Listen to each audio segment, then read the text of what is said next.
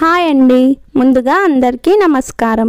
Welcome back to my channel తీగలవారి వంటిల్లు. మా ఛానల్ని కొత్తగా చూస్తున్న వారైతే సబ్స్క్రైబ్ మరియు లైక్ చేయండి. మీరు సబ్స్క్రైబ్ చేసి లైక్ బటన్ నొక్కడం వల్ల మాకు ఎంతగానో ఎంకరేజ్మెంట్గా ఉంటుంది. ఈరోజు మనం మోదీ గారికి ఎంతో ఇష్టమైన పరోటాని తయారు చేసుకుందాం.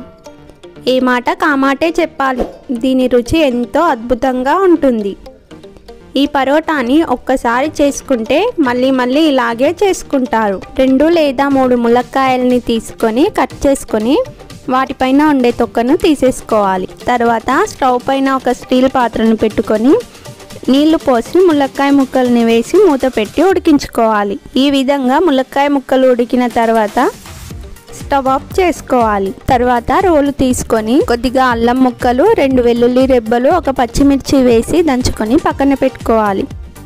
మరొక బౌల్ని తీసుకొని జాలి పెట్టి ములక్కాయ ముక్కల్ని వేసుకొని ఈ విధంగా ప్రెస్ చేసుకోవాలి. అవసరమైతే ముక్కలని ఉడికించిన నీటిని కూడా చేర్చుకోవచ్చు.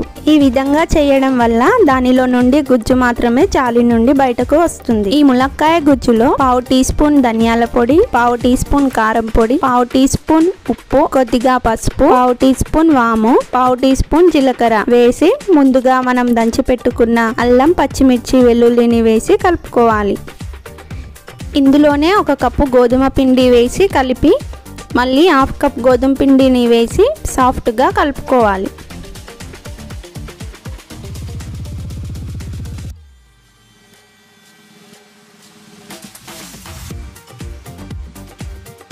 తర్వాత చిన్న చిన్న బాల్స్లా చేసుకొని దానిపై కొద్దిగా నువ్వులు కొద్దిగా కొత్తిమీర వేసి పరోటా చేసుకోవాలి.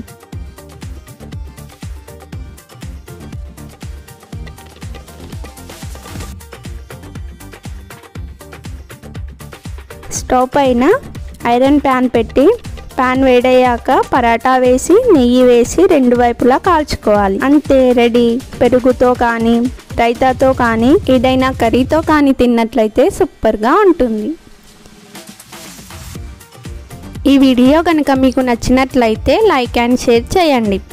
ఇలాంటి హెల్తీ వీడియోల కోసం మా ఛానల్ని సబ్స్క్రైబ్ చేసుకోండి. Thank you for watching my channel.